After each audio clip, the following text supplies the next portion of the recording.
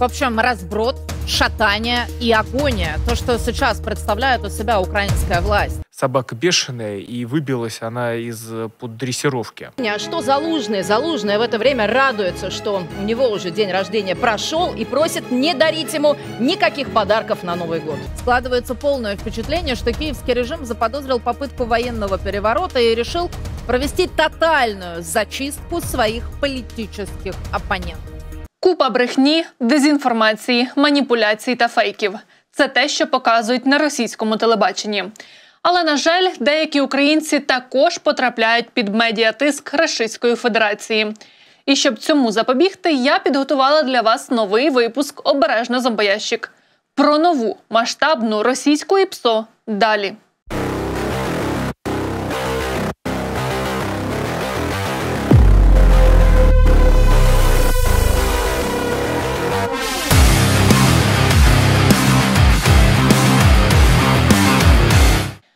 Росіяни запустили хвилю, я б навіть сказала, цунамі пропаганди та фейків про загибель помічника залужного Геннадія Частякова.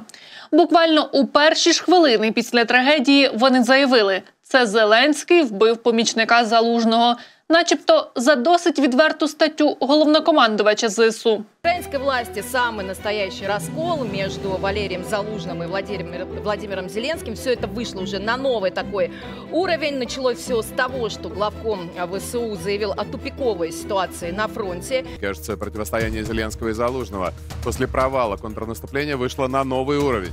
Под Киевом у себя дома при странных обстоятельствах погибает адъютант главкома ВСУ Залужного 39-летний майор Геннадий Чистяков.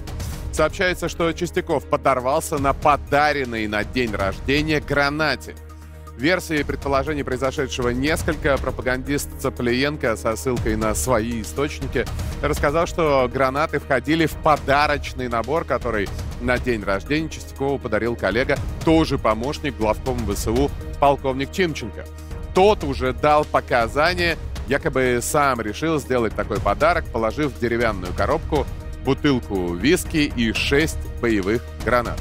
Якобы Тимченко даже сказал Чистякову, «Тебя удивить тяжело, поэтому дарю гранаты и бутылку хорошего виски». Удивил.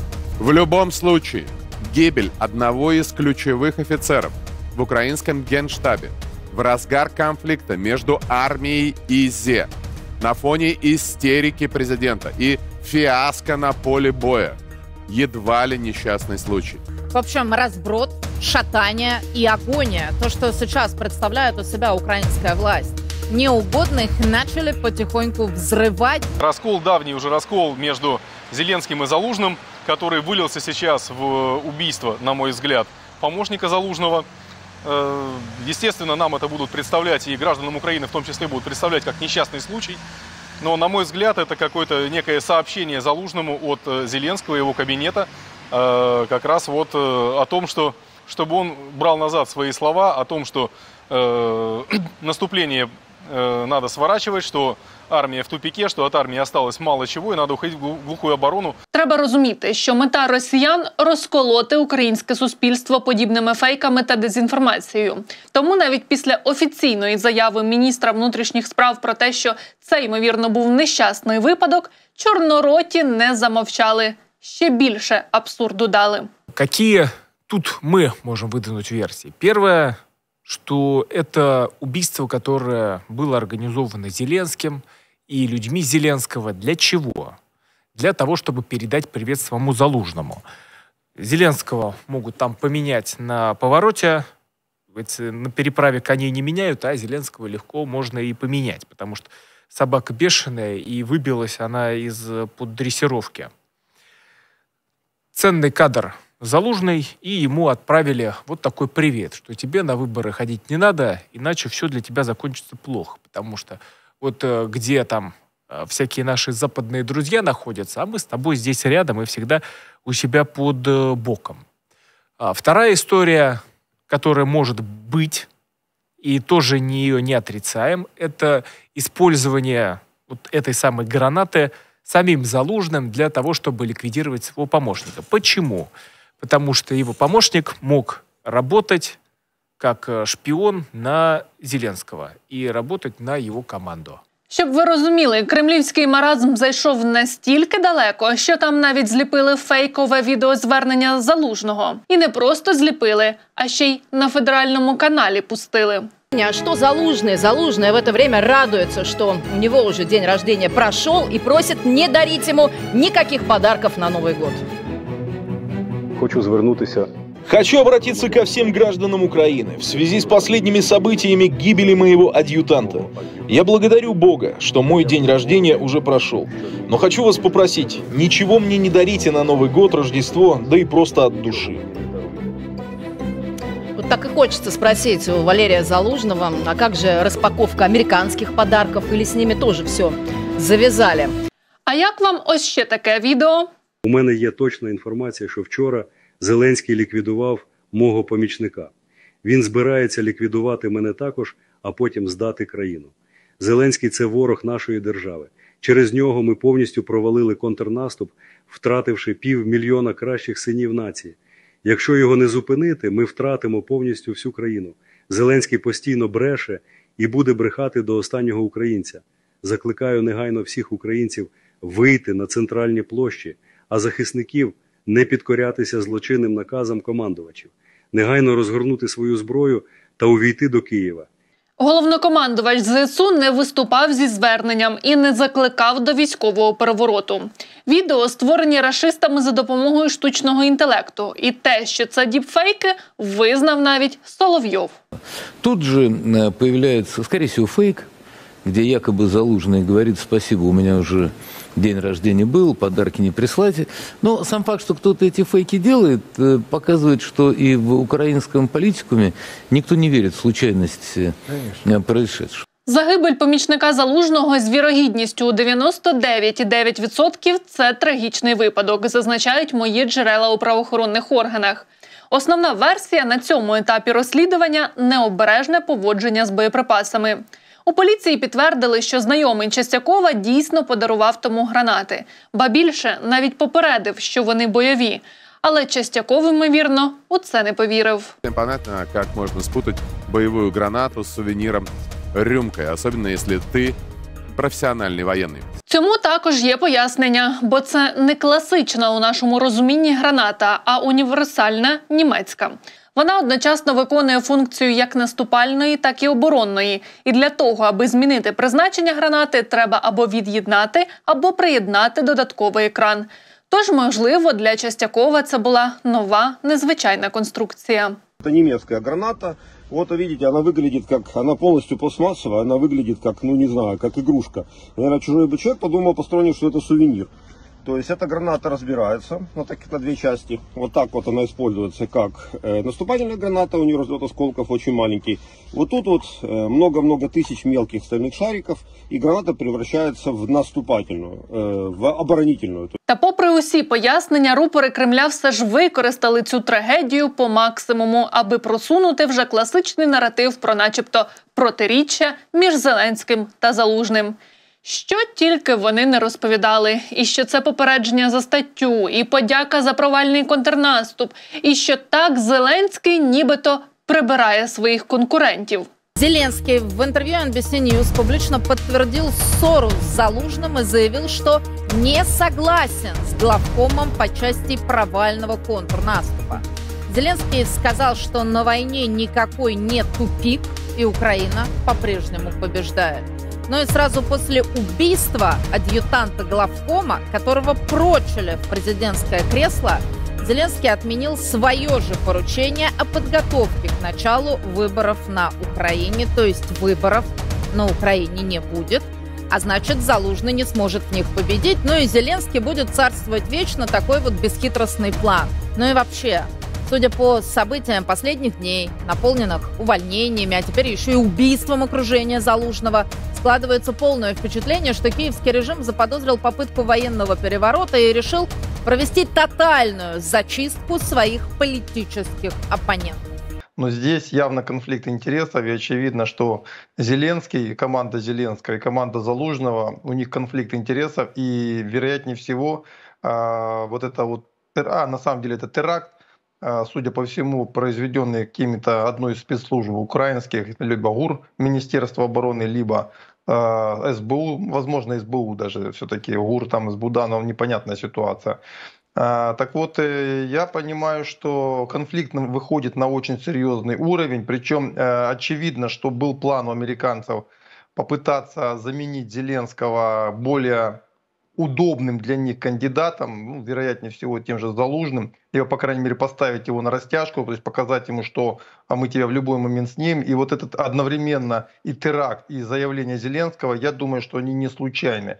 И это, с другой стороны, еще намек самому Залужному, что не стоит соваться в большую политику. Ему проще запугать Залужного попытаться запугать его. Разве это возможно запугать Залужного? Ну, потому что Залужный в последнее время, ну, очень смелое делает высказывания, прекрасно понимая, какую реакцию это вызовет у Зеленского.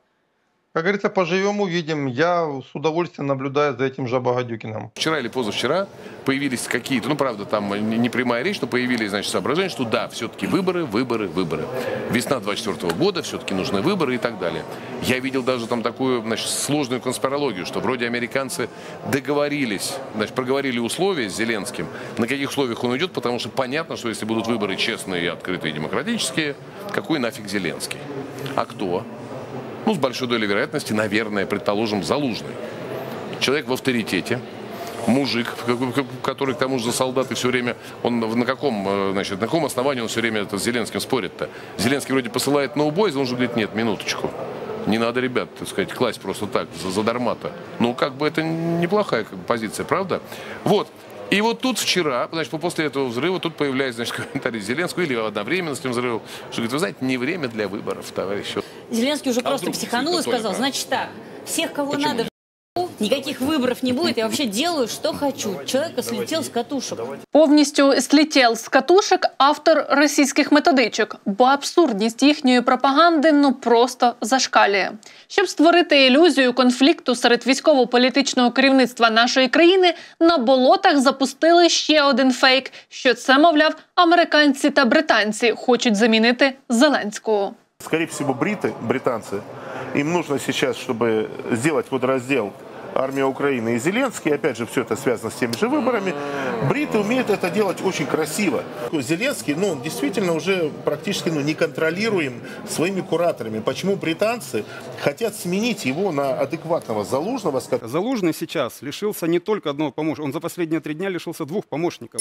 Буквально три дня назад Зеленский уволил зама Залужного Харенко. Да, это главком сил специальных операций. Это вот тоже доверенное лицо. То есть Залужного ослабляют. Это и по нему удар. И здесь Зеленский прекрасно понимает, что американцы давят на проведение выборов. Почему они давят? Потому что вот все неудачи Зеленского, все прекрасно понимают, все уже признали, что контрнаступление сорвалось и ничего не будет. И они прекрасно понимают, что им для того, чтобы негатив на Украине, который будет Зеленским и есть сейчас, чтобы не бил, его нужно менять. То есть, условно говоря, на Зеленского все списать, угу. да, он виноват, мы все сделали, и вот теперь хороший человек. Зеленский, который монополизировал эту власть, становится уже не просто непопулярным политиком, а максимально токсичным. А, та статья, которая была выпущена в британском издании от лица Залужного, она по факту факту говорит о том, что вот тот самый настоящий лидер, который готов принять, словно, э, сложные решения, который несет ответственность в первую очередь за военно-политическую обстановку. Зеленский в этом плане, хоть и пытается медийно как-то поддерживать активность, мы видим, делает очень неубедительно. Другое дело, что заявление Зеленского о выборах лично я рассматриваю как попытку шантажа. Э, Зеленский таким образом, да, через такое обращение, примерно говорит следующее. Если вы выделите 5 миллиардов долларов, которые э, нам нужно для проведения выборов, это его, кстати, заявление, то мы теоретически можем это провести. Более того, это обращение к Европейскому Союзу, который урезал в два раза с 18 до 9 миллиардов евро ту самую помощь. Поэтому Зеленский, я с коллегой абсолютно согласен, политический труп. Вот как только он перестает быть президентом, а хотя бы даже становится кандидатом в президенты, это политический труп, причем, наверное, и в прямом и переносном смысле. И поэтому Зеленский сейчас делает все возможное для того, чтобы пока еще у него есть хоть какие-то полномочия, шантажировать, с одной стороны, Запад, с другой стороны, показывать внутри своим соперникам, что ну, есть самые радикальные способы устранения да, своих конкурентов. Да, до речі, вас не дивує, що росіяни ну так вже детально знають все про україно-американські відносини більше ніж українці та американці. Вже й вигадали за що ж це Байден, начебто, списав Зеленского. Потому что все делают акцент на том, что появилась эта публикация, она стала для украинской власти холодным душем. И забывают о том, что в преддверии этой публикации был жесткий ультиматум американцев, украинской власти, с абсолютно четкими требованиями. И более того, с временными, так сказать, э, рамками.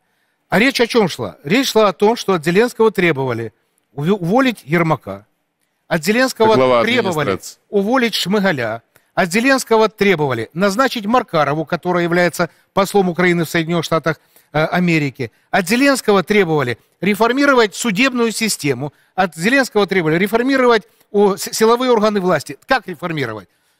Провести примерно под, э, привести их в такое же состояние, в котором находятся все антикоррупционные органы, под полным контролем американцев. То есть они управляют всеми антикоррупционными органами, и они хотят получить в руки еще судебную систему и э, э, силовые органы власти. Более того, требование было уволить э, э, министра обороны Украины. Уволили. А кого назначили? Умерова. Он согласовал эту позицию с американцами? Нет. Он, по сути, себя объявил бессрочным диктатором. Потому что, извините, но вой, войну, которую он не объявлял, опять-таки, да, э, можно так продолжать 5, 10, 20, 25 лет. И все это время Зеленский будет на, на часе. Ну, извините меня, как я могу проводить выборы, э, при том, что, заметьте, американцы от него эти выборы уже требуют. Не мы, в конце концов, но тем не менее. И э, вот по поводу того, той... Нам-то вообще все равно. А? Вот там выборы не, или нет. Я же говорю, ну, Какая нам разница? Мы, мы своей задачи выполняем. Так что в этой связи... Не, нам, конечно, хотелось бы, чтобы кто-то там был, с кем можно было бы вести затем диалог. Потом, для выполнения тех условий, которые Россия поставила с самого начала. Денацификация, демилитаризация. Так там есть но, но... Джозеф Байден. Но... Ага, тож тепер домовлятися про денацифікацію та демілітаризацію вони планують із залужним. Ну-ну. Этот конфликт имеет только единственное разрешение. Договорное разрешение об Нет урегулировании и урегулировании решения. территориальных вопросов. Надо заменить э, господина Зеленского на более какого-то адекватного политика, в том числе Залужного, mm. который готов будет пойти на эти а переговоры. вопрос? Потому а что Зеленский не пойдет. Усі ці розмови про начебто розкол між Зеленським та Залужним російська брехня. І шкода, що цю дезінформаційну кампанію розганяють деякі українські політики. В частности, телеканал Порошенко, да, говорят, э, вот это э, теракт, ну, дают понять, что это теракт, что это взорвалось устройство, замаскированное под подарок и так далее. То есть, э, вот, и опять-таки, никого даже не волнует, правда. А эти будут стоять э, на одной версии, те на другой, поскольку вот эта борьба – между Зеленским и Залужным, мы видим, приобретаем все более э, явные, отчетливые э, формы. Ну, раскола-то нет. Да, Раскола есть, нет. Есть, есть различные взгляды на ситуацию. И в том числе э, э, офис э, Зеленского, он комментирует статью Залужного и в том э, плане, что э, да, тупик, но это тупик и для России. Что нет раскола между президентом и военным ведомством, нет раскола между президентом и Министерством обороны. Э, определенные разногласия, да, есть, конечно, потому что ну, нужно переформатировать. Чуть-чуть вы смягчили свою зрения. позицию. Когда мы вас спрашивали обо всем этом раньше, еще пару недель назад, вы говорили, что все дуют в одну дудку, никаких вообще разногласий не присутствует, но теперь Андрей Нет, э, я еще раз говорю, понимаете, мы все время здесь пытаемся использовать слово «раскол». Это Раскола не мы, мы цитируем э, да. Ермака. Раскола нет. Ермака он не говорил о расколе. А раскола нет. Ну, тактику раскола нет, Россия тактика применяет. Раскола Россия пытается, ну. это понятно, потому что вся наша информационная политика сейчас направлена на то, чтобы показать, что якобы там разногласия, чуть не убивают друг друга. Здається, тут все очевидно. Тож, як сказав міністр оборони України Рустем Умєров, не варто ставати в інформаційній війні, яка є складовою російської агресії проти України, пішаками і тим більше помічниками. Не піддавайтеся ворожій пропаганді, довіряйте лише офіційним джерелам інформації. І пам'ятайте, наша сила в єдності. Не дозволяйте росіянам посіяти у ваших головах зерно розбрату. Це був обережно зомбоящик. Дивіться нас і поширюйте це відео, аби більше людей вберегли себе від московицьких фейків. До зустрічі!